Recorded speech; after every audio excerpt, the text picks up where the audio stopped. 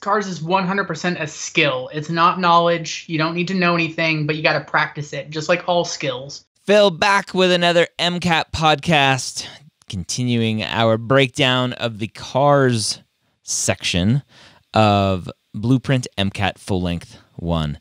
Last week we went through passage one. I think I was four out of six. This week, Yeah. hopefully, is better with passage two. Hopefully. Hopefully, Hopefully. better. Yeah. All right. What do I we think got? there's seven questions with this one, so I mean, you got you get you get an extra shot, right? All right. Um, I think this question isn't quite as bad as the previous one. So, our second passage here is about cargo cult behaviors. So, cargo cult behaviors provide opportunity for cultural anthropologists uh, examining millenarian legends. Once again, we got some new terms. More important is the Western discourse that has grown up around cargo cults, which we shall simply call the cargo cult myth. This myth represents an insidious form of Western imperialism with, at its roots, two per- pervasive facets of Western culture materialism and paternalism. So, right off the bat, the author here is not neutral. The author has some real strong feelings, right? Um, this myth represents the insidious form of the Western imperialism, so it's insidious, and there's maybe not a fan. Um, we also have this like millenarian legend stuff, and then the very next sentence, more important is the Western discourse. So the author is telling us that this is really what we care about. And so whatever's going on with the millenarian legends, I got no idea. But it tells me that what the author is a- actually cares about here is like what how this is related to the Western discourse. Um, so the Western discourse on cargo cult. What's a cargo cult? I got no idea. Right? like this is this is this is new stuff um, going on here. So we have these two parts of this this Western, which the author is not a fan of this Western imperialism, not a fan of materialism, and not a fan of paternalism. And so, like, highlighting those things as I go along, um, important to recognize what it is that the author actually cares about. So, the Melanesian Islands house groups of tribal peoples who, for thousands of years, have no contact with outsiders. Staging ground preparations in World War II saw an influx of Japanese and American soldiers into the islands. The sudden contact with advanced industrial society came as a shock to the Melanesians. Seeing large cargo planes dropping huge crates of supplies, often shared with the locals by the servicemen, created societal upheavals. To the Melanesians, only the gods could be powerful enough to bestow such amazing material wealth, so the soldiers were seen as priests, who had some special power to please the gods and bring them cargo. When the war ended, the servicemen departed. In response, the tribesmen began performing religious rituals to bring the cargo back. They built mock airstrips in the jungle, began dressing in outfits designed to mimic the soldiers' uniforms, and even began parading around in imitation of military drills and formations.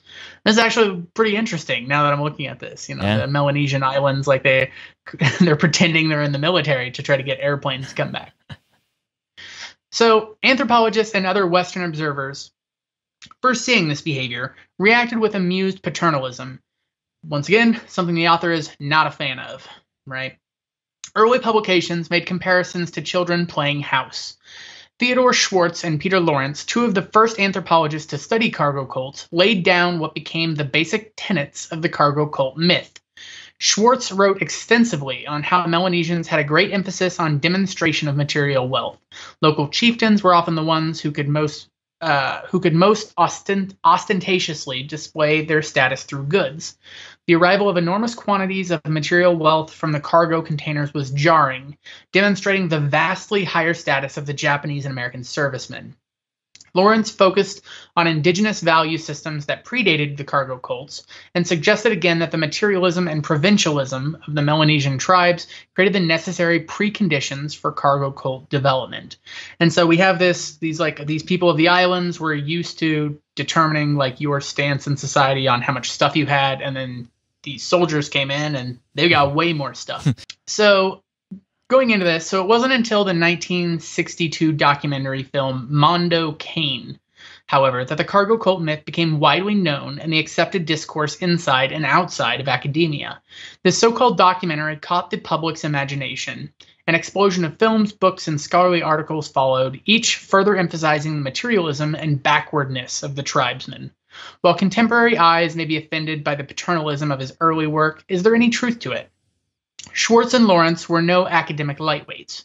Each had a long and successful career as academic cultural anthropologists, and their work, although dated, should not be wholly dismissed. So we know the author is not a fan of this paternalism, materialism stuff, but on the other hand, the, the author here is kind of couching their opinion a little bit and saying, well, you know, the people who came up with these, they're not, like, you can't just dismiss them because they're pretty serious academics. Yep. So the truth of the cargo cult myth, I love this. The author's just going to be like, here's the truth. Um, so the truth of the cargo cult myth lies in its attempt to tie how Melanesians viewed material wealth with their behavior after encountering industrial industrialized society. Most Melanesian tribes followed a big man pattern, in which the political authority was held by the person best able to give away material gifts. The current big man could be displaced at any time by another individual who is capable of giving away more and bigger gifts. With no formal authority structures and no heritable authority, the pressure on a big man to continuously build and give away material wealth is large. When the servicemen begin casually giving away things like extra ration tins, extra clothing, and other manufactured goods, the tribesmen perceived them as big men, the likes of which had never been encountered. The notion that cargo cults that later developed were materialistic had a grain of truth, but the materialism was entirely at odds with the Western acquisition or acquisitive notion of material wealth. So the author is saying here that the materialism that's being exhibited here by the Melanesians is different than the the like materialism seen yeah. in like these Western cultures. Yeah. And so it seems it's more about like giving away stuff um, that is like the material that's kind of important within these Melanesians. So it is a in a way a material um, you know focused society, but it's it's focused on giving rather than like acquiring, which yeah. is what the Western notion is. Are you a fan so, of as as a student is reading this? The the thing that comes to mind as as we were reading that and as you were talking is this this is very similar to the the big man, right? Who who do we have as a big man in our country? Well, the the president who we elect, and oh, he gives away uh, tax breaks and he gives away all of the stuff that he's going to promise on the campaign trail. It's very similar kind of thinking there. Yeah, that's actually really interesting. I hadn't I hadn't gone there, but now the moment that you you bring that up, I'm like, oh yeah, there's some very clear analogies that can be made in this. Does it help a student do that? Do you think? I think it helps to understand it, maybe. Mm. I think, on the other hand, though, you have to be really careful not to bring in your own viewpoints. Mm-hmm. You need to still make sure that whatever you choose as your answer has something in the passage to help you get there. Um, and you're not just going off of your interpretation, and your analogies. I, will admit there are times when I'm reading stuff um, that I will do some similar things. I'll I'll be like, oh, this is like that one you know person I know in my family or something, yeah. and and like it's hard to stop that and if it helps you understand it better, that's good. But you you have to be really careful um, not to choose answers based on that outside information. Um, but it's still got to come from the passage whatsoever. Okay. So I guess you know I guess the the short answer to that is if it helps you understand what's in the passage, it's good. If it starts going beyond that, it's a problem. Okay. And so making sure that it's relevant to that itself. Okay. All, All right. right. So question question number seven. Which of the following actions is most likely to be taken by the big man and a typical Melanesian tribe. Answer choice A: performing uh, perform elaborate rituals that mimic behaviors of Japanese military servicemen during World War II. B: encourage his tribe to attack a neighboring tribe to acquire their possessions. C: have a paternalistic view towards other tribes that began a cargo cult. D: give livestock and weapons away to members of a neighboring group to increase his status with that group. So just what we were talking about, right? The big man is the one who's giving away stuff. The one who has the the stuff to give away is the one who has a, a bigger um, place in the in that in their world. The thing that potentially throws me off, and I probably trips up a lot of students, is that answer choice D, give away livestock, give give livestock and weapons away to members of a neighboring group. So it's like, wait a minute, that is that is that wrong because it's a neighboring group? It should be within his his or her own group. Um, so I'm gonna put that one on the back burner for now and just look at the other one. So A, perform elaborate rituals. Right, that was part of what we read It was like dressing up like servicemen, but that really had nothing to do with being the big man. That was just what they all did because they wanted more more cargo to f- fall from planes. Um, right. So A's. that's exactly that thing we were talking about last time about scratching this itch where Yeah. you're like, I read that. That's a thing. But it doesn't really answer the question because Yeah. that doesn't have anything to do with the big men specifically. Yeah. B encourages tribe to attack a neighboring tribe to acquire their possessions. That seems logical, right? It's like, well, if you have more possessions, then you can give them away. So let's go attack and, and take them away. So that one's, I'm like, oh, maybe, right? That's kind of opposite of D, which is like give it away, but it's to the neighboring group. So, Mhm. oh man. Uh, C, have a paternalistic view towards other tribes that began a cargo cult. No, that's the that's uh, the Western world having the paternalistic view. So B and B and D are my go-to here. It didn't really talk about attacks on other tribes, but I don't know if that's we have to like go beyond what we read, but because how are they going to get the possessions? Well, you have to go take them from someone, um, or you just whittle some wood all day long. Um, but really, D D is the most seems like it's the most right because it's like yeah, you're just giving away livestock and weapons, and it's a, to another group, but that's exactly what you want to do. You want to build your status to everyone. So I'm gonna go with D just because I'm super confused.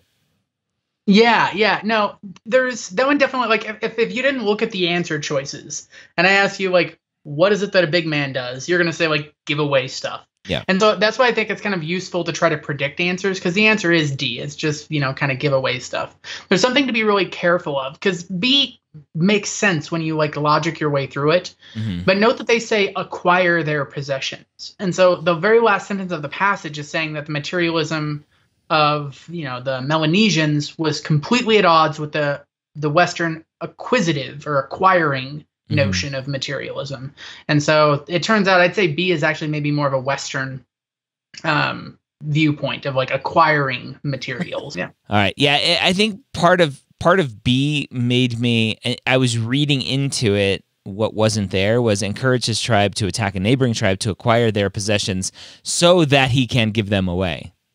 Right. And so that that's exactly what you're doing. You're kind of like going too deep, thinking too much. Yeah. I think that that's something that is really important as somebody dealing with cars that you're not being an analyst, you're not like coming up with scenarios and that sort of thing. What you're doing instead is being a reporter. You're Mm. reporting on what the passage said. Mm. And so like what exactly is going on there? Like they didn't say anything about going to war, taking stuff to give away or anything like that. So anything that you bring in there is not actually existing. Yep. And so you can't bring that info in. All right. Question eight. The author's attitude toward the work of Schwartz and Lawrence can best be described as A. Deeply appreciative. Mm. B. Disgusted and dismissive. Yeah. C. Disinterested but admiring. Mm.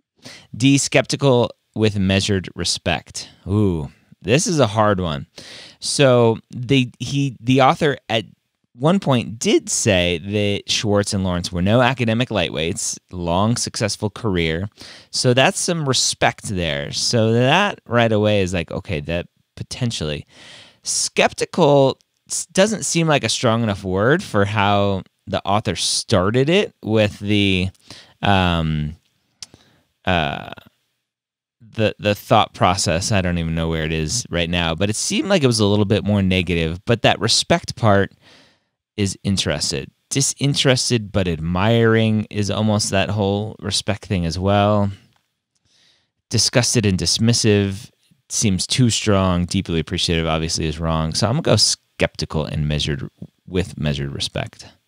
Yeah, it's that like one sentence where they they talk about you know their work though dated should not be wholly dismissed. That's telling you the author thinks it's a little bit dated, but Yep.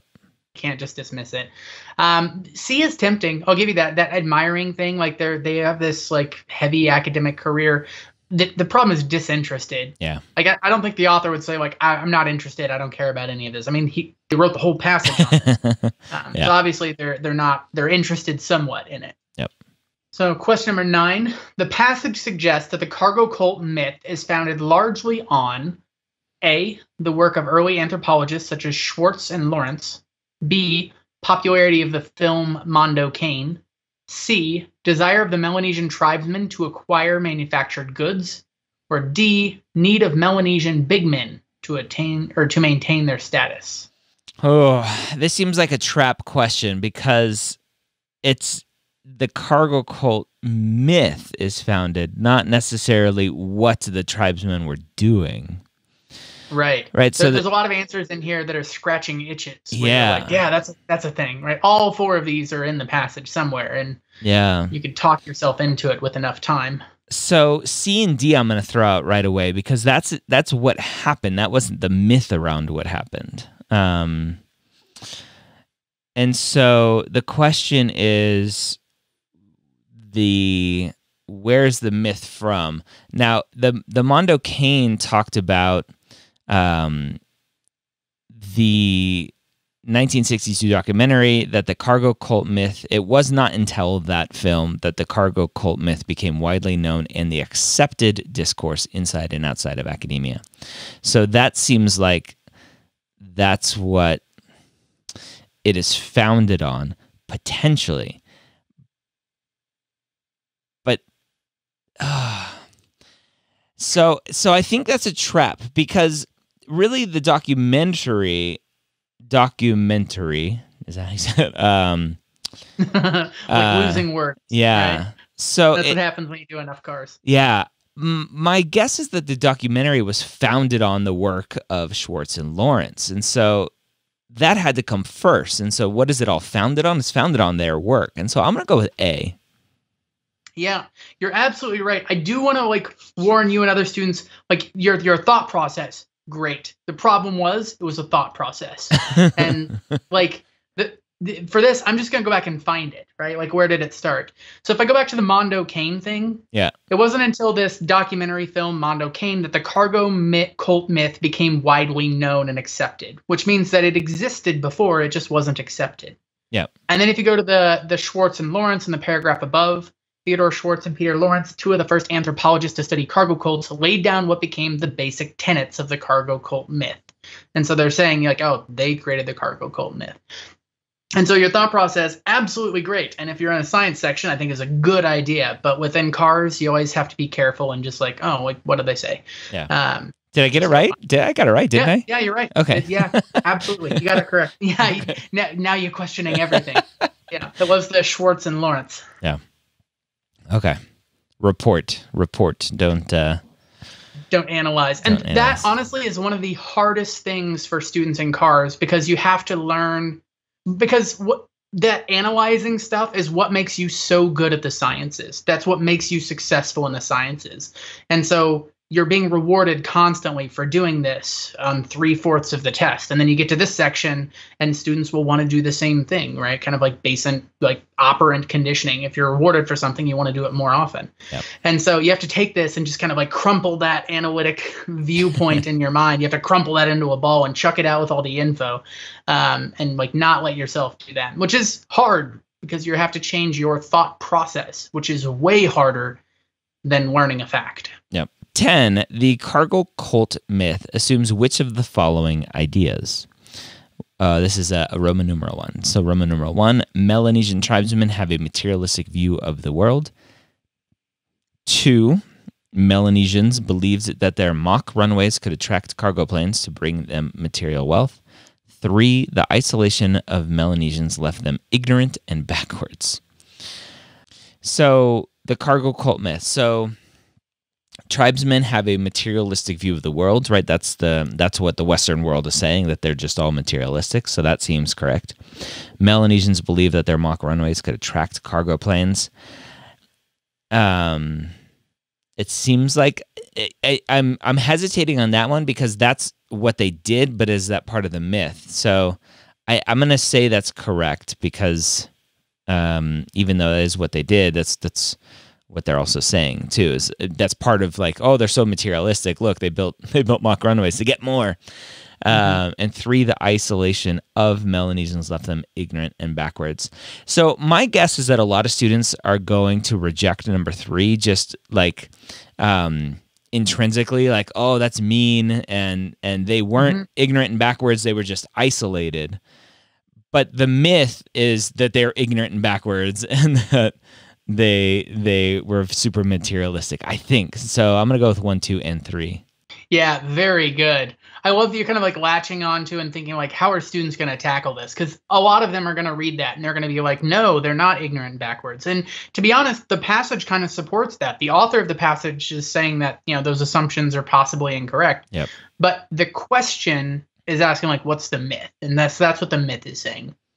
I think that that's a constant battle a lot of students are struggling with, myself included. When I first started, I was seeing a question like this and trying to show that I'm a reasonable, ethical, moral human. So please let me into med school. I want to be a doctor, right? But that's not what this this is testing. Yeah. It's testing. Do you understand their viewpoints or the different viewpoints going on in the passage? And so you got to be careful not to bring in stuff, even when it seems like really fundamental, like shouldn't murder people or like indigenous people are not ignorant, right? And Yeah. like stupid. Like you have to be really careful and not bring in that outside info. So, question 11 According to the author, the cargo cult myth A owes its popularity to film representation.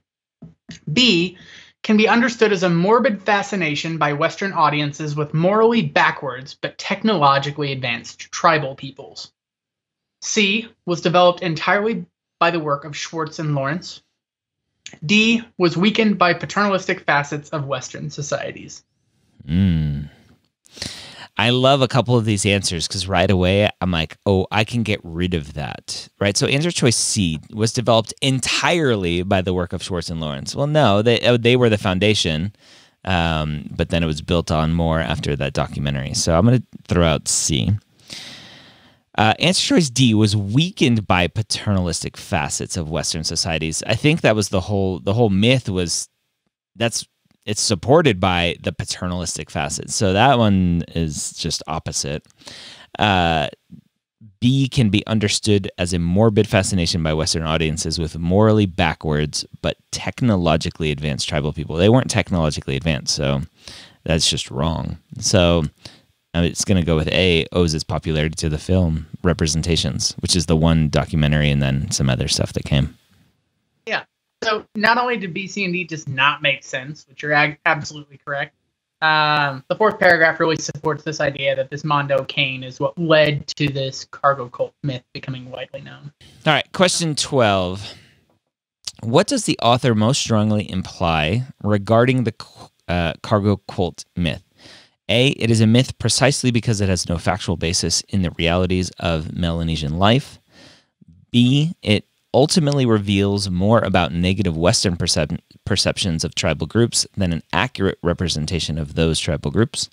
C, accurately represents the key facets of cargo cults, both in how they originally developed and in how they maintained, uh, how they are maintained to this day. Or D, it understates the key impact that material wealth plays in Melanesian society. So this is what is the author? The what does the author most strongly imply regarding the myth? Um, so the author seems to be very much that this is a myth. It's not based on fact. It's based on this whole paternalistic Western view of what happened and what's going on. So A seems like a very good answer. B, it ultimately reveals more about the negative Western perceptions of tribal groups rather than the accurate representation of those tribal groups. That seems like a really good one, too. Um, C, it accurately represents the key facets of cargo cults, both in how they originally developed, how they maintain today. So, no, I don't think that's correct. And then D, it understates the key impact material wealth plays in Melanesian society. I think that's false as well. So A and B are weird. So A, they both seem correct. Um, the the one part that seems to me like makes A wrong is it saying it has no factual basis in realities of Melanesian life. But obviously there has to be some parts that are true and then the myth obviously expands on them. So I'm gonna go with answer choice B. Yeah, yeah, very good. That like no factual basis is kind of an extreme statement. Like you have to find a passage somewhere that says there are no facts. And the author is saying like, you know, there's the Schwartz and what's his face? Lawrence. Lawrence. Um, that had, you know, you can't just like wave away their stuff. But I think the real reason I don't want to pick A is that the last paragraph, the notion that cargo cults um, that later developed were materialistic had a grain of truth. And so the author like is telling you here there is a grain of truth to this. Yep. And so saying there's no factual basis, we can't really go along with that. Yep. Um, yeah, so the answer is B. All right, question. All right, last question of the passage. We're one away from a perfect score on this one. so, which of the following assertions would most challenge the primary argument in this passage? A. Mondo Cane was seen as a valid exercise of documentary filmmaking by nearly all who viewed it. B. The Melanesians who carried out cargo cult behavior did not believe they were actually summoning cargo planes, but rather their ancestral spirits. C. The Western discourse on Melanesians was respectful of their social systems and sought to understand cargo cult behavior in light of the tribe's own history and values. And D. The big man description of tribal social structures was itself first constructed by Theodore Schwartz. Hmm. So I have to go back to the question. Which assertion would challenge the primary argument in the passage? The question is, what is the primary argument in the passage? And so I think the primary argument is basically how this myth is just a myth and that's not how who these people are. I think that's what the argument is. Um, and so which one would say flip that and go, no, the, the, the myth is real. This is who these people are. Potentially, I think that's what, the one I'm trying to find. So, A, Mondo Cane was seen as a valid exercise of documentary filmmaking by nearly all who viewed it. I don't know if that would challenge it. Um, that's interesting. So basically saying, no, it was reported perfectly. Um, that's who these people are. B, the Melanesians who carried out cargo cult behavior did not believe they were actually summoning cargo planes, but rather their ancestral spirits. And so again, the the whole thing that this was a myth, um, I don't know if that would challenge the argument. C, the Western discourse on Melanesians was respectful of their social systems and sought to understand cargo cult behavior in light of the tribe's own history and values. C sounds like it's the most strong. Uh, B, the big man description of tribal social structures uh, was constructed doesn't seem like it's right. I'm gonna go with C here because it seems like right the the argument of the passage is this is just a myth. These aren't who these people are. Stop treating them badly. And answer choice C is, oh, no, we're going to treat them nicely and just really say what happened here and respect everything. So Right. that would flip it. That would challenge it. Yeah, exactly. Um, I, I think some of these other ones do maybe conflate or like conflict with some of the stuff in the passage, but we're looking for what's going to challenge the main argument, which is that this cargo cult myth uh, was not great because of Western stuff. Yeah. Like we were paternalistic and our materialism kind of like ruined our interpretation of this. Um, yeah, so C's the right answer. All right. Perfect score. That might be a Yeah. first for me getting a perfect score on a on a science uh, a cars passage. Just Yeah. just a reminder, like I could the cars when I took it, verbal reasoning was what it used to be called. Like that was my Uh-huh. worst section. I got a, a seven, which is um what is that now? Like a a one what is that now? One twenty four maybe? One twenty three? I don't know. Uh, maybe 125. I don't. I forget what the section breakdowns are. I know overall Yeah. it was about a 502 that I got, but um, that that verbal reasoning section held me down, and it's really been doing all this practice um, on these podcasts that that have really go. Okay, now I know how to think like the MCAT thinks. Yeah, cars cars is 100% a skill. It's not knowledge. You don't need to know anything, but you got to practice it. Just like all skills. You can't like master a unicycle by reading a book like how to read a unicycle for dummies, right? Like you can't develop that skill unless you're actually like practicing Yeah. and putting effort. And cars is the same way. I would say cars is the one section of the test you cannot cram because it's a skill. You can cram knowledge. I I'm not saying you should, but you can Yeah. cram like magnetism. Like in a day, you'll sit down, like, I'm going to learn magnetism today. At the end of the day, you're Magneto. Right? Like, you don't have to worry about that. But with cars, it doesn't work that way because it's a skill. It takes this kind of constant pressure, um, and that that's how you improve.